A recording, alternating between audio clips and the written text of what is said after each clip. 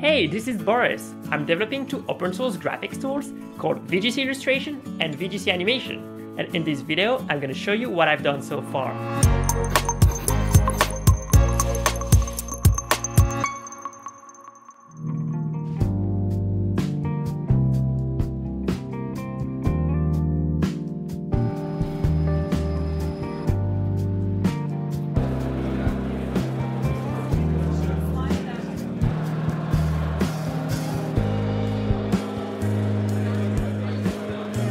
Alright, I'm going to be honest with you, I did not make a lot of progress on VGC illustration the past few weeks.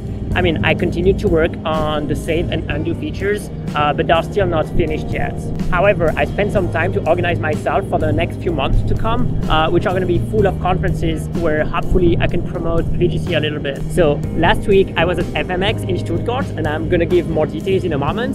And next week I'm going to be in Toronto at the Graphics Interface Conference, where I'm going to be presenting my PhD work.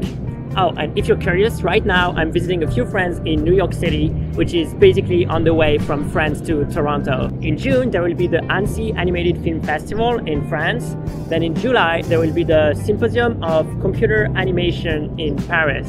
All right, and finally in August, I'm going to be back in Canada for the SIGGRAPH conference, which is happening in Vancouver this year. All right, and just so you know, I used some of your donations to buy a new desktop computer uh, because my old laptop was getting very, very slow for video editing, for instance. Okay, so since I don't have cool features to show you this month, how about I just show you some highlights of the FMX conference last week? So some of the talks are more on the technical side. For instance, I saw a very interesting talk by Jingwan Lu from Adobe showing, among other things, new ways to represent a color palette, which I think could be very useful for VGC as well. I saw Eitan Grinspun from Columbia University giving insight on hair water simulation.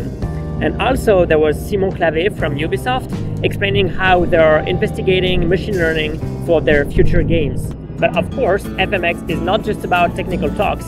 I saw many presentations from animated studios, such as here Studio AKA, based in London, Reka Bucsi presenting Solar Walk, and a sneak peek of the upcoming short Sonder, entirely rendered in the game engine Unity. There were also bigger studios, such as here Blue Sky, presenting how it was in the early days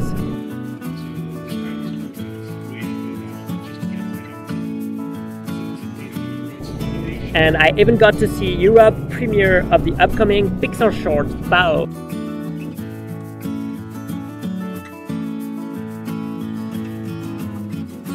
Outside there was a giant screen where I could watch short movies while having lunch. The first evening I saw the Japanese movie in this corner of the world and the next day I watched the entirely hand-painted movie Loving Vincent. Über Vincent zu reden. Ich hatte ihn von Anfang an im Auge. Oh, and more related to VGC, I was pleasantly surprised to see that there was an entire session only dedicated to open source software. So for example, I got to learn about the possibility of an upcoming foundation to help coordinating the development of open source software for film production. And also, I got a chance to briefly talk with Ton Roosendaal, the founder of Blender. I also met David Maas, a teacher at Film Academy, with whom we discussed recent advancements on 2D animation software. Anyway, that's all for today. Thanks for watching, and see you next time.